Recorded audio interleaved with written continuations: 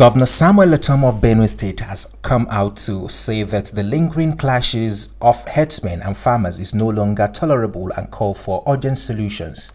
Ortom made these charge while addressing newsmen at the Benue State Governor's Lodge in Abuja. He said that the federal government has not been doing well enough to tackle the menace of herdsmen invasion into people's farmland. He therefore urged that the ranching system should be adopted to solve the lingering issue of herdsmen and farmers clashing in the country.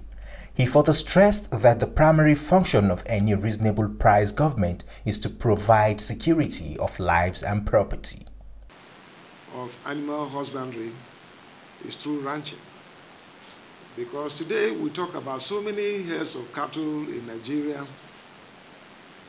but we do not care about the statistics. But from records available to me, the total heads of cattle in Nigeria that are creating so much tension and divisions and even uh, bringing drums of war in our country, Nigeria, are just above 20 million heads of cattle. But on record, we have over 300 million heads of cattle in India, in Brazil, over 250 million heads of cattle, in America, over 100 million. Even in South Africa, the number of cattle they have is more than what we have there, like countries like Kenya and so on. But why they have lived peacefully with farmers is because they ranch. And so we came out with a policy and we not just stop at uh, policy level, we went ahead, legislated and enacted a law prohibiting open grazing. And uh, we were called names. And uh, we were castigated and all manner of people who did not have the love of this country, who did not care about the unity of our country, who did not care about our fellow human beings living in Nigeria who were being killed, maimed, our women were raped, our children were also raped and killed, our old men, uh, nobody was spared. And so, as a government that has the responsibility of providing security for lives and property, we came out with that legislation.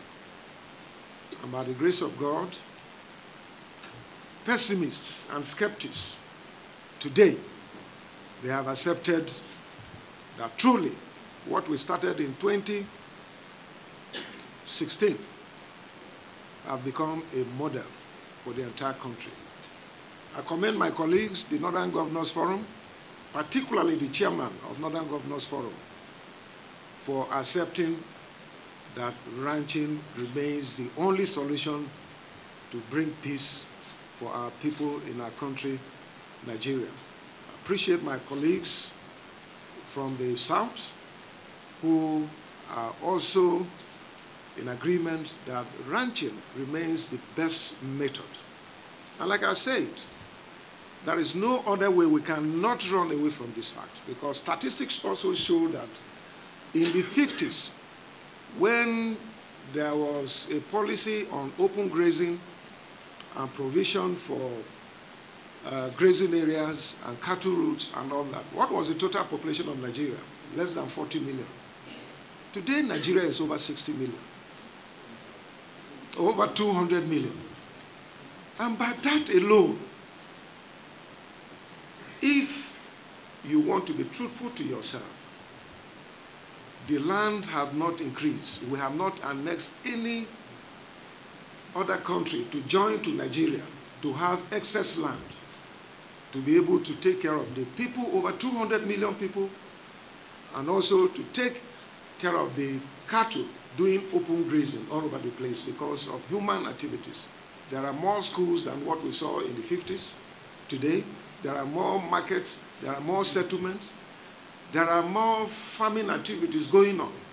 And so no land for open grazing. So when we said we had to enact a law, we meant good business for farmers and good business for herdsmen, that they can live in peace and work together. He therefore expresses gladness in the view that those who were initially opposed to the ranching system when he first made the agitation are now getting to approved it. He therefore urged the federal government to respond in earnest to the bill as urgent steps need to be taken on the issue of insecurity. If not, the country's peaceful coexistence is greatly under threat. From the Benue State Governor's Lodge in Abuja, Shamsuddin Abdurazak Girado, iMedia News.